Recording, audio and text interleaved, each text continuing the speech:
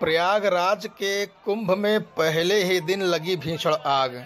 किसी के हताहत होने की कोई सूचना नहीं, लेकिन ये आग कहा जाता है कि सिलेंडर, जो गैस सिलेंडर होता है, उसके लीकेज होने के कारण एक अखाड़े में लग गई और इस अखाड़े की वजह से आसपास में सटे हुए दो तीन अखाड़ों तक ये आग जा पहुँची।